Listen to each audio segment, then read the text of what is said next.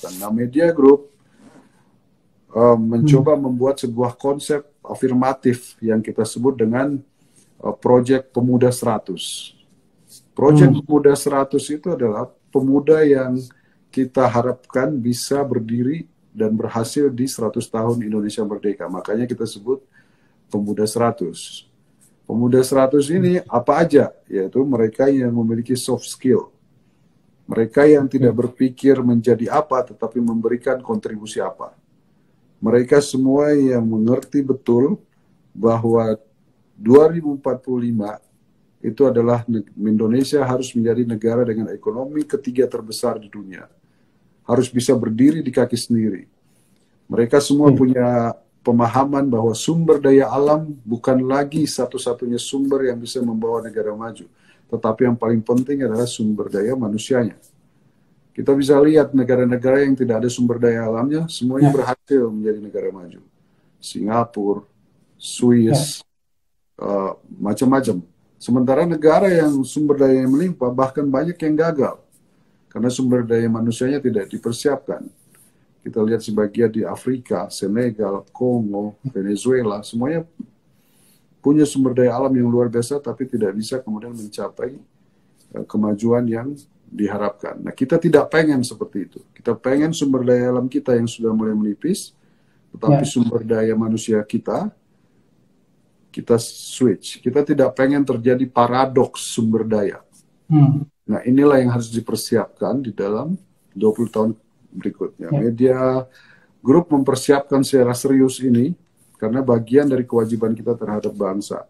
Kita memiliki online scholarship competition, hmm. yaitu memberikan beasiswa kepada anak-anak di Indonesia yang tidak mampu, ya. yang ada di pelosok. Sampai hari ini kita telah membagikan 2.300 beasiswa kepada seluruh anak-anak pelosok ya. yang mungkin tidak pernah terbayangkan bisa sekolah.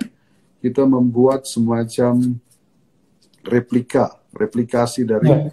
Sumpah Pemuda. Anak di Papua bergerak ke Jawa tapi untuk menuntut ilmu dan akhirnya berhasil.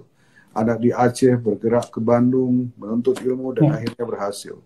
Sehingga mereka pada tahun 2045 kita harapkan menjadi pemimpin-pemimpin yang sudah ditempa dengan semangat pemuda 100 seperti pemuda 28. Ya. Kita juga melakukan uh, sosialisasi seperti MGN Stage yang akan digelar 6 sampai 7 kota mungkin tahun ini membangkitkan hmm. semangat pemuda untuk mempersiapkan diri menjadi pemuda 100.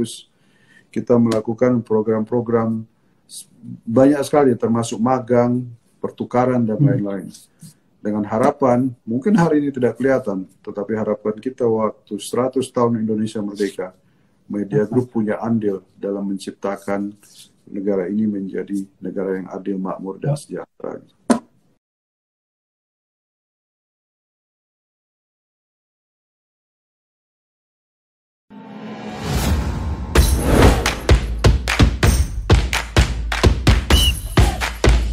Ayam kalau diaduk-aduk jadi cair. Seriously, diaduk kayaknya ya.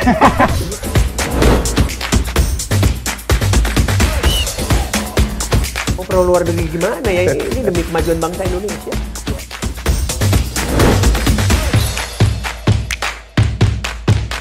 Isu kebangkitan uh, PKI ini uh, dihentikan.